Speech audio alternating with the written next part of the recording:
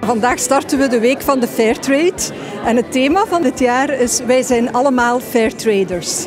Mensen die we vandaag gevierd hebben, zetten zich allemaal in voor uh, Fairtrade op een of andere manier. En we willen ook de boodschap geven dat we allemaal ambassadeur van Fairtrade kunnen zijn. Door elke dag in onze boodschappenlijst koffie, bananen, chocolade te kopen met een Fairtrade label. On voit que les gens sont de plus en plus attachés à la justice sociale. On voit aussi en fait que les Belges se rendent compte que leur consommation a vraiment un impact au niveau de la justice sociale, qu'ils ont une responsabilité à prendre et aussi que cette responsabilité, elle est partagée avec les entreprises, avec euh, les supermarchés, mais aussi avec le monde politique. People are working hard towards reducing inequalities in the world. Uh, there's a lot more talk about social justice, for example.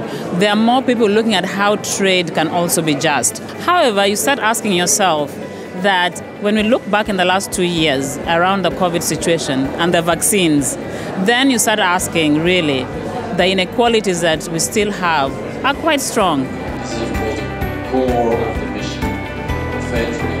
Deze week willen we ook aangrijpen om alle Belgische consumenten nog eens aan te herinneren dat wat ze doen, dat dat het goede is en dat ze door nog meer fairtrade producten te kopen nog beter kunnen bijdragen tot een duurzame wereld.